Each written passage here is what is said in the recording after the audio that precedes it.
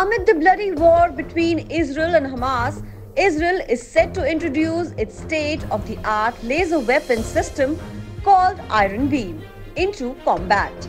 So, what is an Iron Beam and how would it boost Israel's defense?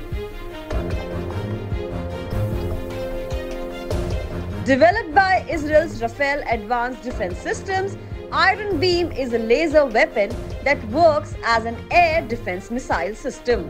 Unlike interceptors fired by Iron Dome, Iron Beam uses precision energy weapons to counter incoming air attacks.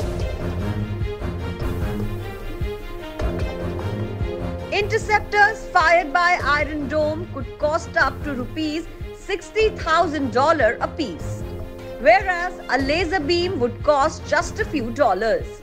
The Iron Beam is lighter and smaller than the Iron Dome, making it a more adaptable and affordable replacement of the Iron Dome missile defense system. Iron Beam was first unveiled in 2014 and the original goal was for it to go into service in 2025. How much would its early deployment benefit Israel? Only time will tell.